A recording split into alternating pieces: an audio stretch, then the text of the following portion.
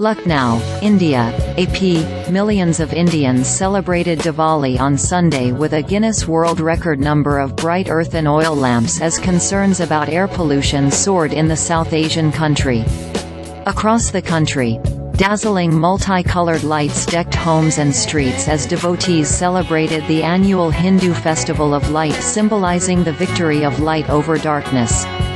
But the spectacular and much-awaited massive lighting of the oil lamps took place, as usual, at Saryu River, in Ayodhya in Uttar Pradesh state, the birthplace of their most revered deity, the god Ram. Read more. What is Diwali, and how is it celebrated in India and the diaspora? At dusk on Saturday, Devotees lit over 2.22 million lamps and kept them burning for 45 minutes as Hindu religious hymns filled the air at the banks of the river, setting a new world record. Last year, over 1.5 million earthen lamps were lit.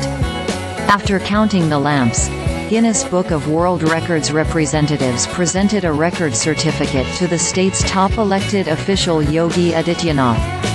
Over 24,000 volunteers, mostly college students, helped prepare for the new record, said Pratibha Goyal, Vice-Chancellor of Dr. Ram Manohar Lohia Avadh University, in Ayodhya. People light earthen lamps on the banks of Saryu River on the eve of Diwali festival, in Ayodhya, India, November 11, 2023. Hindus across the world celebrate Diwali, the festival of light which marks the return of Lord Rama from exile to his kingdom and the triumph of light over darkness. Photo by Ritesh Shukla.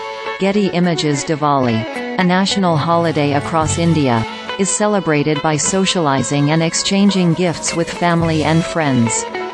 Many light earthen oil lamps or candles, and fireworks are set off as part of the celebrations. In the evening, a special prayer is dedicated to the Hindu goddess Lakshmi, who is believed to bring luck and prosperity. Over the weekend, authorities ran extra trains to accommodate the huge numbers trying to reach their hometowns to join family celebrations.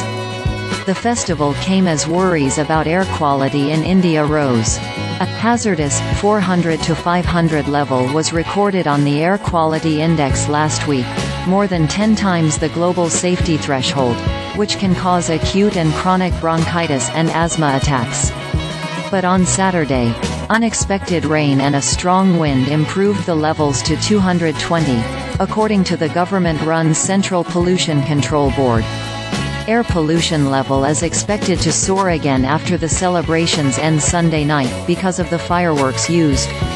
Last week, officials in New Delhi shut down primary schools and banned polluting vehicles and construction work in an attempt to reduce the worst haze and smog of the season, which has posed respiratory problems for people and enveloped monuments and high-rise buildings in and around India's capital. Authorities deployed water sprinklers and anti-smog guns to control the haze and many people used masks to escape the air pollution.